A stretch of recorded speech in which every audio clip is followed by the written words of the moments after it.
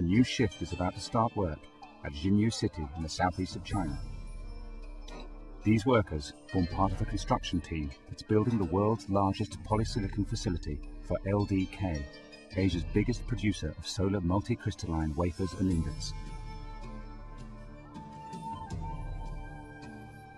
As well as producing 15,000 tons of polysilicon a year, the facility will also produce 90,000 tons of trichlorosilane, or TCS.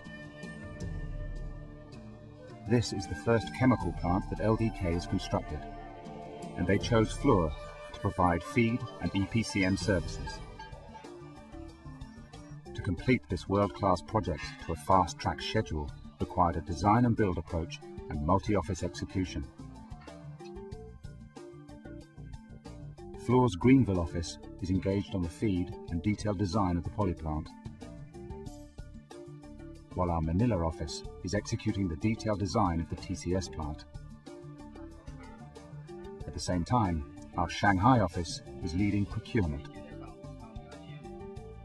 And our construction management team is on site here in Xinyu.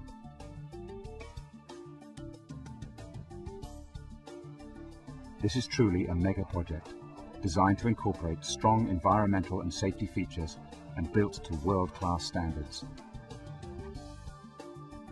To keep it moving forward on schedule and to ensure that all its key components fitted together seamlessly required a major effort in logistics and communication.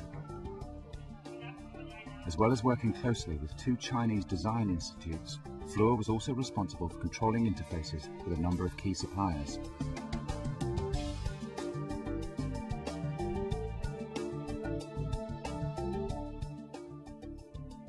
Forging these partners into an integrated team at an early stage of the project was a critical part of the process.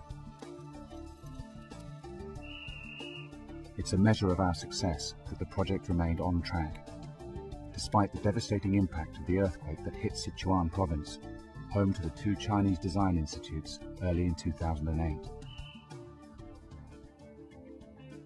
Although the excavation for first foundation was initiated only in mid-November 2007, outstanding progress has already been made. Towards the end of 2008, our site teams began installing piping and equipment. The start of this major phase brought a doubling of the construction workforce. At the peak, there were over 8,000 craft labourers working on the site. The start of 2009 saw the project record one of its proudest achievements to date when the figure for safe work hours reached 15 million, a fitting testament to a project-wide commitment to safety. Fluor has worked closely with LDK and its fellow contractors to maintain safe, dependable performance.